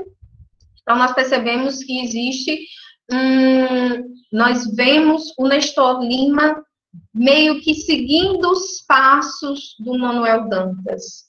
E aí, para falar sobre o outro intelectual, né, o Pinto de Abreu, então existia ali uma geração né, de, de intelectuais que têm né, uma mesma formação acadêmica, circulavam nos mesmos espaços, escreviam para os mesmos jornais e que acabam influenciando também aqueles com que eles convivem. Então, o Manuel Dantas, de certa forma, né, serve de exemplo, por assim dizer, ao Nestor Lima. Então, o Nestor Lima vai trilhar, basicamente, é, vários caminhos que o Manuel Dantas trilhou. Então, tudo isso nos ajuda a pensar a história desses intelectuais. Acredito que tenha, tenhamos respondido todos sim, os questionamentos. Nós temos ainda aí alguns minutos. Caso alguém queira fazer alguma colocação antes de nós encerrarmos, fica aberto agora, sim. tá certo? E, bom, bom dia, bom dia. Bom dia, Danilo. É, eu queria agradecer a vocês, a apresentação de vocês foi maravilhosa. É, pelo que eu percebi, Arthur trabalha no, na mesma linha de pensamento que eu. Por isso que eu, que eu direcionei todas as perguntas a ele, Laís. Mas você também foi perfeita. É, Obrigado. É, eu estava trabalhando da mesma forma que ele, trabalhando no conceito de geração, é, com estudo prosopográfico, com intelectuais, porém meus intelectuais eram professores dentistas. Hum. Só que eu tive que mudar tudo, né? Tive que mudar meu viés de pesquisa, porque, da mesma forma que Arthur falou, que ele ia começar com 33, eu ia começar com 31. Diminuir. tive, tive que diminuir, acabei ficando com 20, alguns 22, se eu não me engano. Ainda é Aí, é, ainda, é, ainda é grande, por isso que eu perguntei quantos você utilizou, porque eu queria continuar com a, com a prosopografia. Porém, minha orientadora sugeriu que eu seguisse outro caminho para não ter nenhum encalço, né? Também pela dificuldade de encontrar fontes nesse momento, é que eu trabalho muito com a questão da história oral, e para encontrar essas pessoas nesse momento de pandemia está muito difícil e eu não consigo contato telefônico de todo mundo. Mas foi isso e, e eu pedir essa fala só para agradecer a vocês. Estou é, participando do congresso desde ontem, está muito bom. Parabéns a toda a equipe e os organizadores. E espero que ano que vem tenha novamente. Vai bom dia para todos. Vai ter, tem todo ano. Tem todo ano, né? Esse é o quarto COISME e esperamos sim do próximo ano tenhamos um formato híbrido, quem sabe, né? É. Presencial e online. E online. Eu é. acho que é bem enriquecedor, porque às vezes a pessoa não pode viajar até o lugar, mas participa de onde estiver também, e assim a gente vai somando, que a ideia é somar. Só queria pegar um gancho da fala do Danilo, para dizer uma coisa importante aí que ele falou dessa questão da modificação do trabalho e dizer para vocês, gente, não tenham medo da mudança não, tá? Porque isso é normal, isso é extremamente normal. Às vezes a gente fica muito apegado, ah, mas eu queria tanto estudar isso, queria tanto e tal, tal, tal, tal. Mas não adianta, a gente sabe que nós somos humanos, somos limitados, tá bom? A gente nunca vai conseguir acessar todo o conhecimento com relação àquele objeto de pesquisa. E a pesquisa histórica, ela não tem fim, né? Não tem fim. Então, assim, a gente tem que realmente partir das fontes, porque não tem como a gente realizar um trabalho em história da educação se a gente não tiver fonte. Então, se você não tem a fonte, readeque, ajuste os seus objetivos, ajuste a sua pergunta, mas oriente o seu trabalho de uma forma que você consiga construir uma análise lógica, que você consiga construir tudo bem direitinho, tá certo? Mas não se preocupem com mudança, não, porque sempre muda. Às vezes a gente entra pensando numa coisa e quer fazer um negócio assim mirabolante, fora do, da realidade. E aí, quando você chega, você se depara com a fonte, dá de cara com a realidade, você toma um choque, diz, é, não tem como, não é assim, não vai funcionar, vamos mudar tudo e vamos trabalhar com o real. E assim a gente vai se ajustando e vai fazendo. É sempre um, um fazendo, é sempre uma é constante é fazendo né? e aprendendo. Não tenho medo. É assim mesmo. Mais alguém tem alguma colocação? Isso, Isabela colocou. Então, reforço minha admiração por Laís e Arthur Pesquisadores que, além de colegas, são grandes amigos de após e da vida, conheço, admiro e respeito e dedicação de ambos pela pesquisa. Obrigada, Isa. Isa, beijo. Marlene lembrou uma coisa muito importante, né? Temos orientadores persistentes e corajosos, professoras Inês Chamato, Olivia Neta, Marlúcia e demais professores do grupo. É Realmente aqui, né, na UFRN, nós temos um grupo de professores muito bons, muito bons, e que nos ajudam a construir as nossas pesquisas pesquisas, a escolher os melhores caminhos, né, e a trilhar, né, esse campo, fomentar esse campo da história da educação, potiguar do Brasil, que é tão importante. Somos todos apaixonados pela história da, da educação, somos todos apaixonados pela história dos, dos intelectuais. Então, nós gostaríamos de agradecer a presença de todos, certo? Lembrando que até amanhã o link vai estar atualizado, certo? Vocês preencheram né, o, o link de presença, então é possível também que a gente vincule esses e-mails ao link do, do Drive com todos esses textos que nós já havíamos colocado, né? E que nós podemos disponibilizar também outros materiais para vocês. Agradecemos, né, a todos que se mantiveram presentes, tentamos cumprir o nosso horário, para que também não ficasse muito cansativo. Nós compreendemos que esse formato. esse formato, né, é ele é realmente cansativo para a gente. E aí, o um agradecimento especial a todos e ao Rafael, que esteve nos auxiliando, né, coordenando a sala. Sem a presença dele, isso aqui não ficaria tão organizado. organizado. Obrigada, possível. Rafael. Obrigado, Rafa. Então, obrigado a todo mundo. Tá bom? Obrigado. Muito obrigado a vocês. Excelente apresentação. Valeu, obrigadão, Rafael. É, quero agradecer a todos vocês pela participação, pelas contribuições. Eu acredito que foi, de fato, um momento bastante enriquecedor para todos nós, porque todos nós sempre estamos ensinando e aprendendo. Isso. É sempre uma via de mão dupla.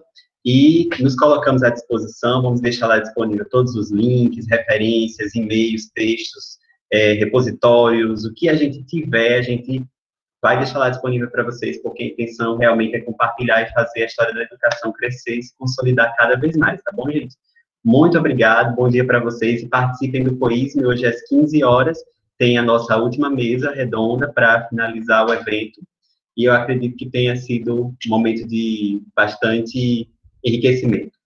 E esperamos, esperamos todos o próximo ano no quinto COIS. No quinto COIS. Vamos, vamos ajudem-nos a construir essa história. Exato. Certo? Um abração, gente. Obrigada. Tchau, tchau. Tchau.